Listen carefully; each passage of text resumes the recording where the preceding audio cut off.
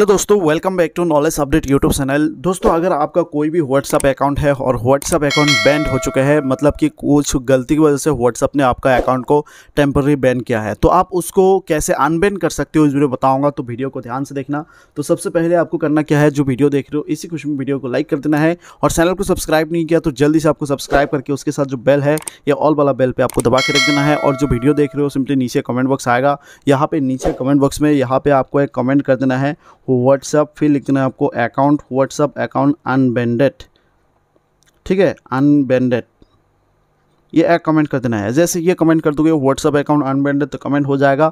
तो अभी मैं बताता हूँ, सबसे पहले आपको करना क्या होगा? आपका व्हाट्सअप अकाउंट को अनबेंड करने के लिए जो आपका फ़ोन में गूगल है गूगल पे चले जाना होगा। गूगल पे चले जाने के साथ साथ यहाँ पे सर्च वाला बटन आएगा। इसी सर्च वाला बटन में आपको लिख देना होगा व्हाट्सअप फिर लिख देना होगा कॉन्टैक्ट व्हाट्सअप कॉन्टैक्ट लिख के सर्च करना होगा।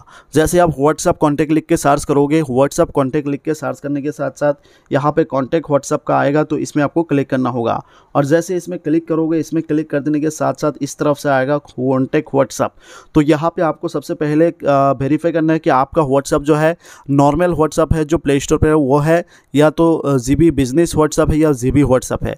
अगर जी व्हाट्सअप है तो व्हाट्सअप इसमें कॉन्टैक्ट में क्लिक करना है। और अगर आपका व्हाट्सअप व्हाट्सअप बिज़नेस व्हाट्सअप है तो इसमें क्लिक करना है। और अगर नॉर्मल व्हाट्सअप है तो इसमें for all question related WhatsApp ये देख सकते हो कॉन्टैक्ट आस पे क्लिक करना होगा। जैसे कॉन्टैक्ट आस पे क्लिक करोगे तो कॉन्टैक्ट व्हाट्सअप टीम इस तरफ़ से आएगा तो फ़ोन नंबर पर यहाँ पे आपका, वो वो फ़ोन नंबर देना है, जो फ़ोन नंबर आपका बैन हुआ है मतलब कि टेम्पररी बैन कर दिया तो वो व्हाट्सअप का नंबर देना है। तो मैं यहाँ पे देता हूँ, मेरा वो WhatsApp number seven nine eight one eight four zero five मेरा नंबर है, मैंने दे दिया, फिर आपको, आपका फ़ोन नंबर देना है, जो बैन हुआ है। फिर यहाँ पे आपको करना क्या होगा, ईमेल एड्रेस देना है, ईमेल एड्रेस आपको वही देना है, जो आपकी ईमेल एड्रेस पे व्हाट्सअप टीम आपको ईमेल करेगा कि क्या डिसीशन लिया है।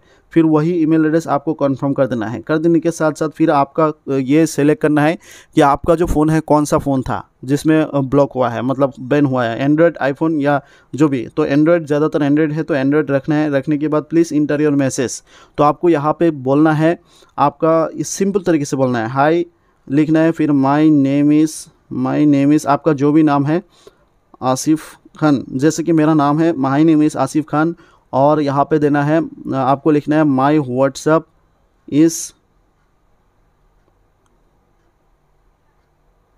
my whatsapp is banded last three days